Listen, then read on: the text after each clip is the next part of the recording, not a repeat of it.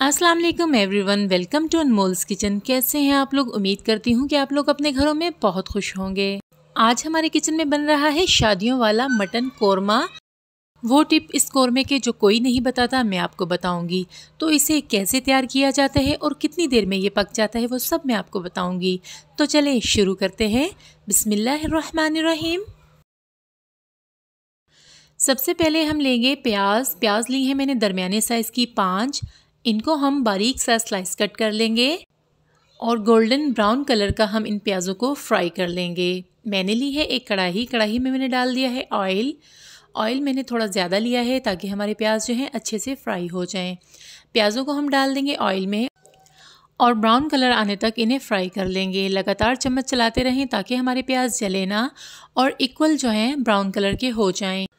Flame को रखा है मैंने मीडियम टू हाई और इसको लगातार चम्मच चलाते हुए करेंगे ब्राउन। प्याज हमारे ब्राउन हो गए थे, अब इसमें जो ख़ास चीज़ डलती है, वो है फूल मखाने। फूल मखाने मैंने लिए हैं एक प्याली भरकर, इन्हें भी हम ऑयल में डाल देंगे। जिस ऑयल में मैंने प्याज ब्राउन किए हैं, उसी ऑयल में इसे डाल देंगे और इन्हें लाइट सा एक मिनट के लिए हम गोल्डन सा कलर दे के बाहर निकाल लेंगे ताकि ये क्रिस्पी से हो जाएँ। प्याज और मखाने जो हैं हमारे फ्राई हो गए हैं। अब इन्हें मैंने टिश्यू पेपर के ऊपर रख दिया है और इसे हम रख देंगे पंखे के नीचे। और लेंगे एक कुकर। कुकर में मैंने डाल दिया है ऑयल। ऑयल मैंने वही लिया है जिसमें मैंने प्याज़ों को ब्राउन किया है। अब ऑयल में डाल दूँगी मैं दो टेबल स्पून के जितना अदरक लहसुन का पेस्ट और इसे लाइट सा गोल्डन कलर आने तक फ्राई कर लूँगी। फ्लेम को कर लिया है मैंने मीडियम टू लो। और अदरक लहसुन के पेस्ट को हम अच्छा सा जो है फ्राई कर लेंगे। इसको डार्क कलर नहीं देना। लाइट सा गोल्डन कलर आने तक इसे फ्राई कर लेंगे। अल्हम्दुलिल्लाह, हमारा जो है अदरक लहसुन का पेस्ट हो गया है फ्राई अब इसमें मैंने डाल दिया है एक प्याली भर के योगर्ट योगर्ट को मैंने रफली साफ़ फेंट लिया था। योगर्ट को हम एक से दो मिनट के लिए भून लेंगे और इसमें शामिल कर देंगे मटन। मटन मैंने मिक्स बोटी ली है। इसे हम भूनेंगे योगर्ट और अदरक लहसुन के पेस्ट में। तकरीबन हम इसे पाँच से दस मिनट के लिए अच्छी तरह से भूनेंगे। अब आ गए हैं कौरमे के ख़ास मसाले, जिसमें मैंने ली है दो बड़ी इलायची, चार ली है मैंने सब्ज़ इलायची, और ली हैं थोड़ी सी काली मिर्चें, थोड़ी सी ली है कलौजी, थोड़ी सी लिए हैं तेज़ पत्ते और दो टेबल स्पून मैंने लिया है कौरमा मसाला। इन सब चीज़ों को हम भून लेंगे अच्छे तरीके से। इसमें मटन की अच्छी तरह से भुनाई होनी चाहिए। मीडियम फ्लेम पर हम मटन को अच्छा सा भून रहे हैं। अब इसमें डाल देते हैं मसाले। मसालों में मैंने लिया है डेढ़ टेबल स्पून नमक, दो टेबल स्पून इसमें जाएगी लाल कुटी हुई मिर्च, एक टीस्पून जाएगा साबुत ज़ीरा, एक टीस्पून जाएगा धनिया पाउडर, एक टीस्पून जाएगा ज़ीरा पाउडर और एक टीस्पून मैंने डाली है हल्दी। इन सब मसालों को डाल देंगे मटन में और इसे अच्छा सा भून लेंगे। अगर आप मेरे चैनल पे नए हैं तो मेरे चैनल को करें सब्सक्राइब और मेरी रेसिपी पसंद आए तो इसे अपने फैमिली फ्रेंड्स में करें शेयर।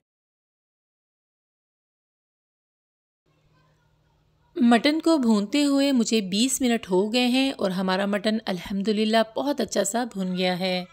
अब मैंने इसमें जो ब्राउन करके प्याज रखी हुई थी, फ्राई करके, उनको मैंने अच्छा सा कर लिया है ब्लेंड और उसमें शामिल कर दिया है आप प्याज़ों को क्रश करके भी डाल सकते हैं लेकिन ब्लेंड करके डालेंगे तो इसकी बहुत अच्छी सी ग्रेवी बन जाती है। अब इसमें मैंने शामिल कर दिए हैं मखाने। मखानों को मैंने अच्छा सा हाथों से क्रश कर लिया था। अगर हाथों से ना हो तो आप इसको आ, किसी भी अमाम दस्ते में कर सकते हैं। इसे दरदरा सा जो है मैंने कूट लिया है। ये बहुत ही मज़े का फ्लेवर देता है और इससे ग्रेवी भी बहुत अच्छी लगती है। अब मैंने इसमें डाल दिया है तकरीबन दो गिलास के जितना पानी, क्योंकि मटन ने भी अपना पानी छोड़ा हुआ था और कौरमे में ज़्यादा हम, ज़्यादा शोरबा नहीं बनाएँगे। दो गिलास पानी इसमें बहुत परफेक्ट है। दो गिलास पानी डालकर मैंने कुकर को कर दिया बंद। सीटी बजने के बाद उसे 20 मिनट का मैंने टाइम दे दिया और हमारा कौरमा बहुत अच्छा सा रेडी हो गया है और इसकी ये कंसिस्टेंसी बहुत परफेक्ट है। अब मज़ीद इसे मैं पाँच मिनट का दम लगाऊँगी बिल्कुल लो फ्लेम पे ताकि जो है ऑयल ऊपर आ जाए और हमारा सालन अच्छा सा रेडी हो जाए।